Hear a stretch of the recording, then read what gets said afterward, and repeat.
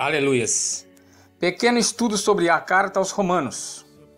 Os mais antigos dados, irmãos, históricos, depois da fundação de Roma, fundada por Rômulo e Remo, gêmeos que, segundo a história, foram amamentados por uma loba. Irmãos, nesses fatos históricos que existem hoje sobre as origens da cidade de Roma, remontam ao século 8. Naquela época começaram a povoar-se as sete colinas vizinhas ao rio Tiber, sobre as quais, em um futuro ainda longínquo, haveria de se erguer-se a capital do mundo então conhecido.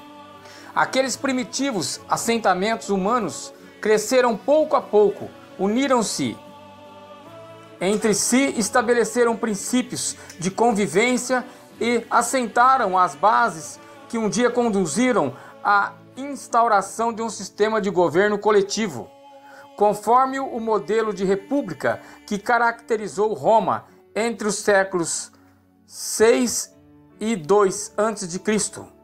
À medida em que se afirmava a unidade do Estado, crescia a sua capacidade econômica e militar, de onde se derivou também um forte anseio de possessão.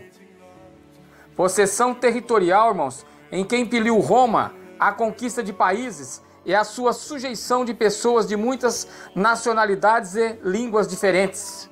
Com o passar dos anos, se tornaram donos de toda a bacia do mar Mediterrâneo e dos seus territórios circunvizinhos e ainda muito mais além.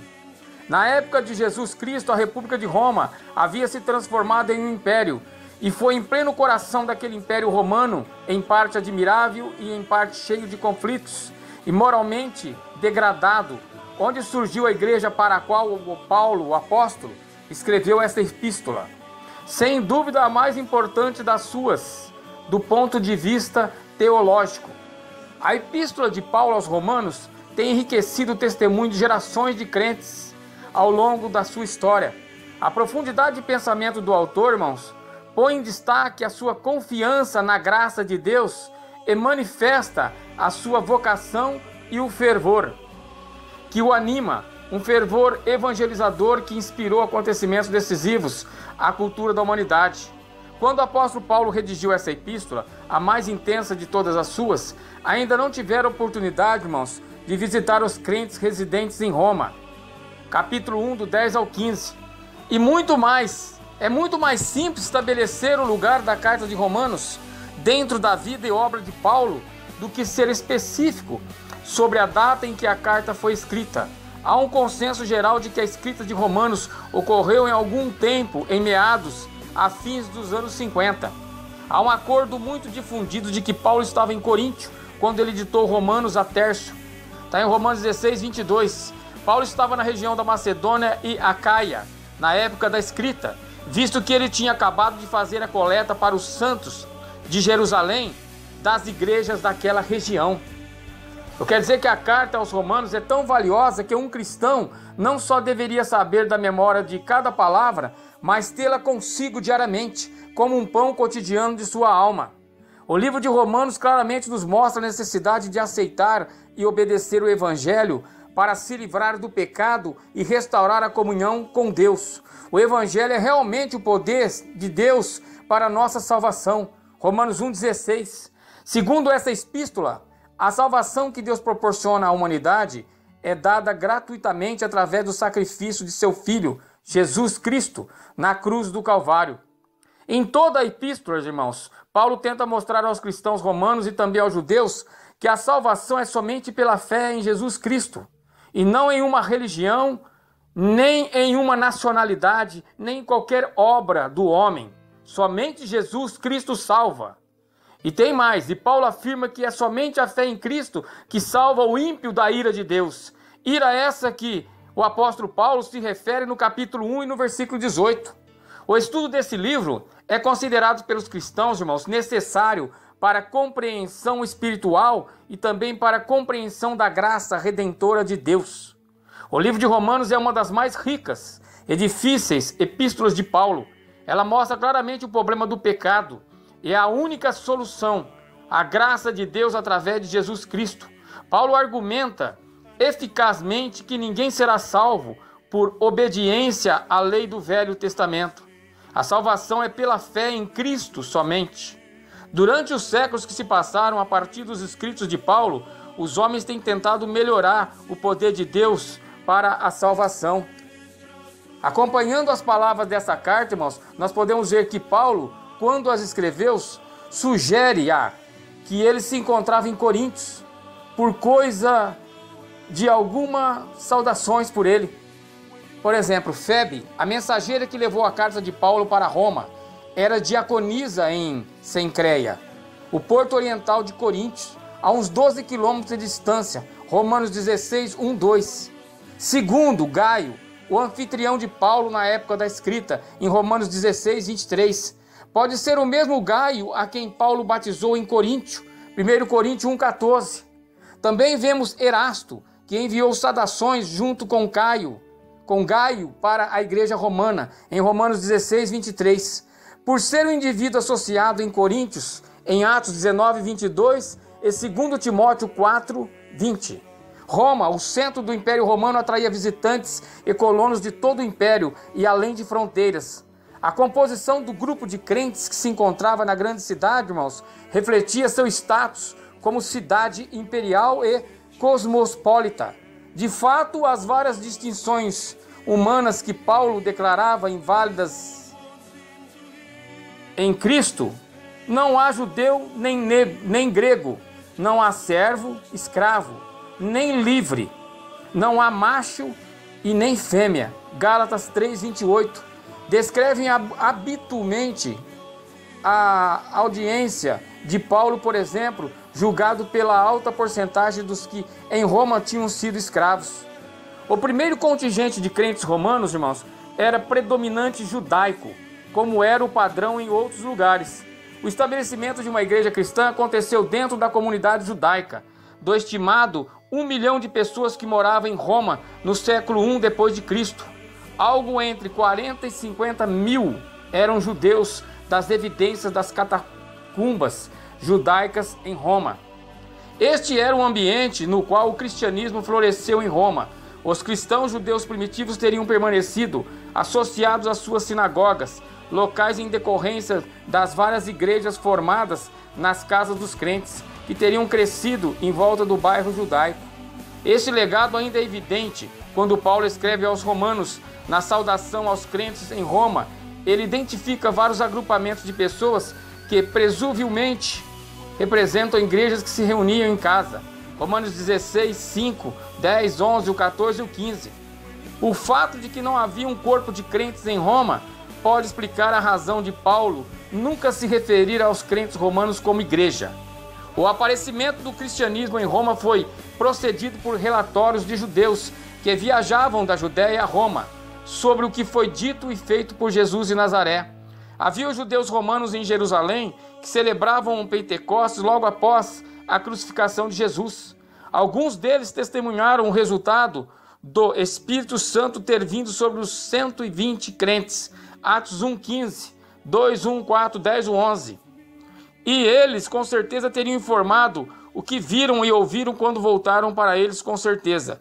Teriam informado o que viram e ouviram quando voltaram para casa. Realmente pode ter havido alguns judeus romanos entre os três mil que foram batizados em resposta ao sermão de Pedro naquele dia, Atos 2, 41.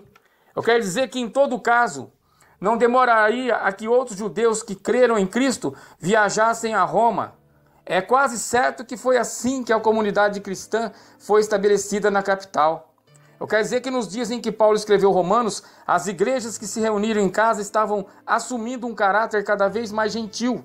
Se estivermos corretos em colocar a data da escrita da carta em meados dos anos 50, então este é o período no qual muitos dos judeus, inclusive os cristãos, estavam voltando a Roma e tentando reintegrar-se na sociedade romanas em 49 depois de Cristo. O imperador Cláudio tinha decretado que os judeus fossem expulsos de Roma por causa de distúrbios no bairro judaico.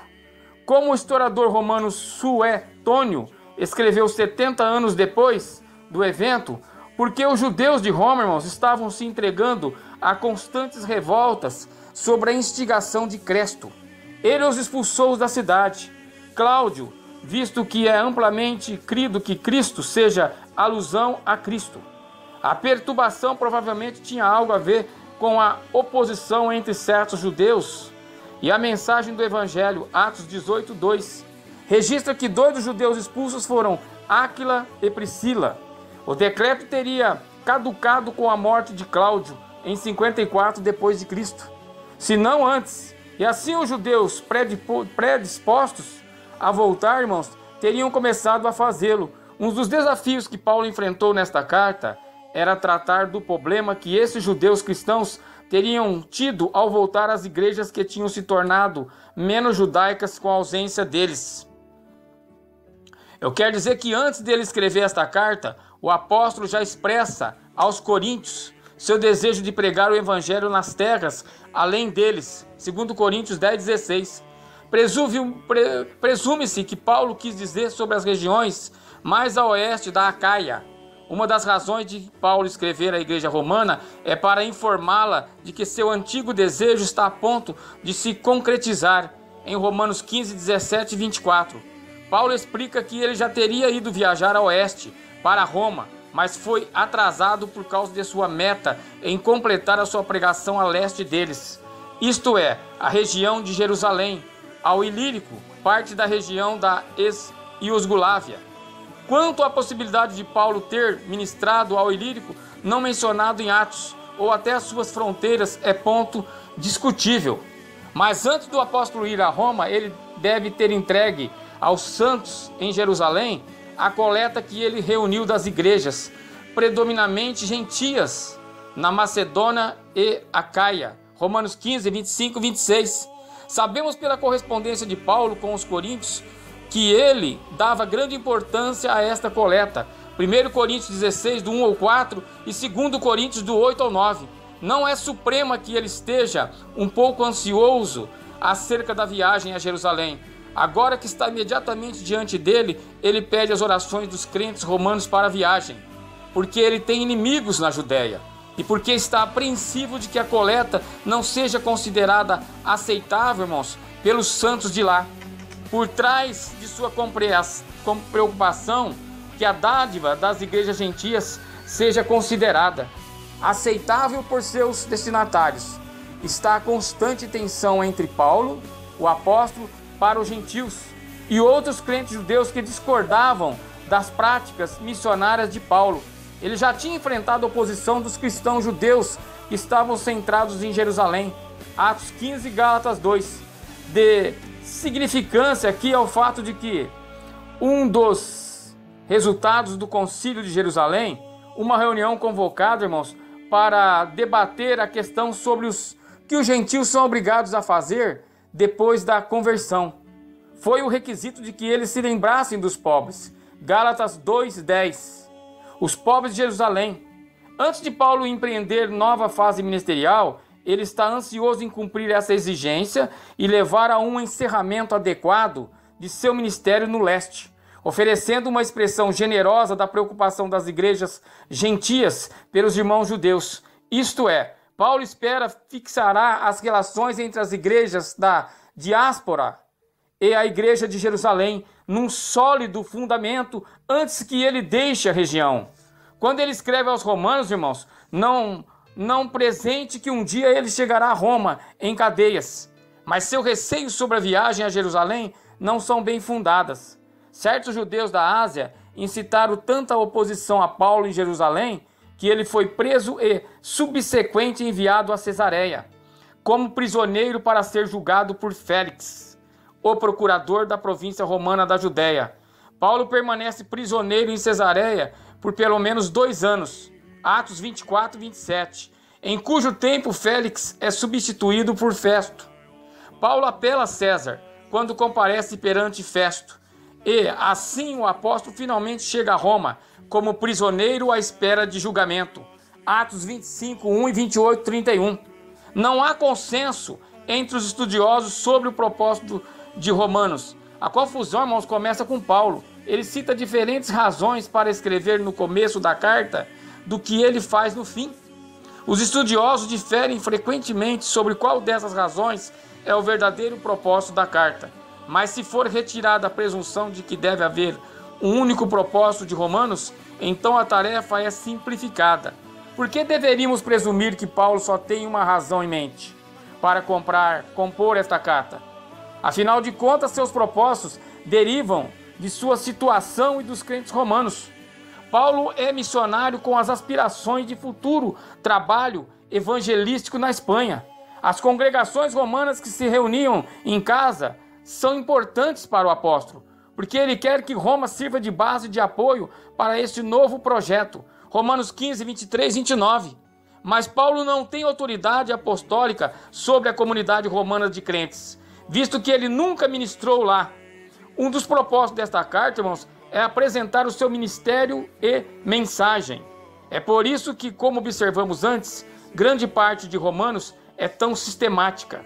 Paulo está desenvolvendo uma explicação longa e lógica de sua mensagem. Contudo, não é um tratado sistemático, porque ele nunca perde de vista a sua audiência romana, sua consciência deles e suas preocupações particulares brotam em vários pontos, mesmo quando ele está no meio de um argumento extenso.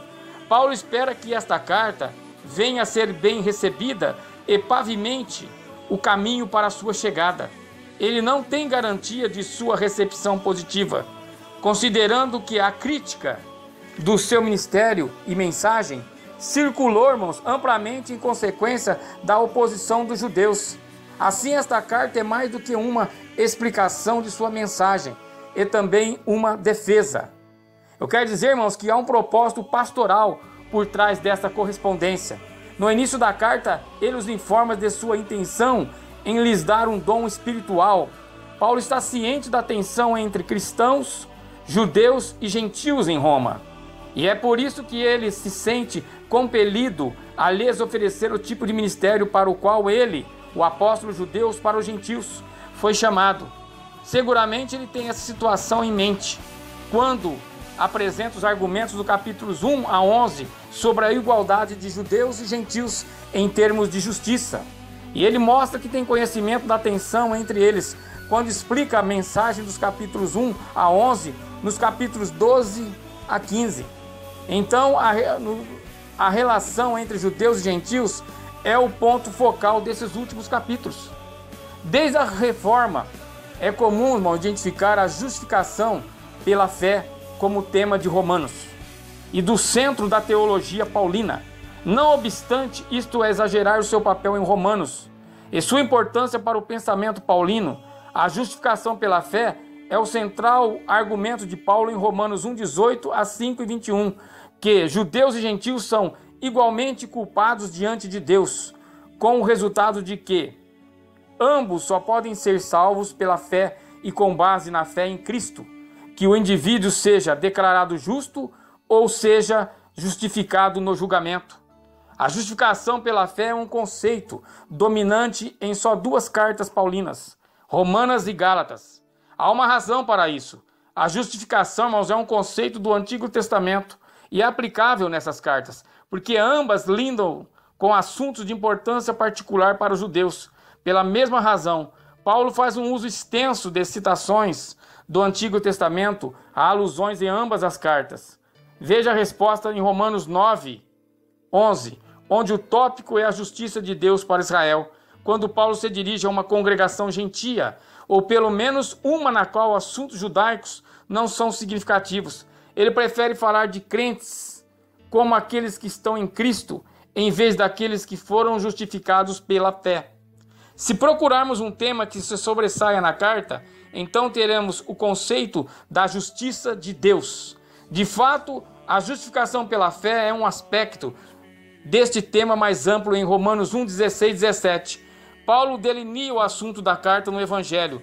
Se, se descobre a justiça de Deus. O que Paulo faz em Romanos é descrever a natureza da justiça ou da obra salvadora de Deus.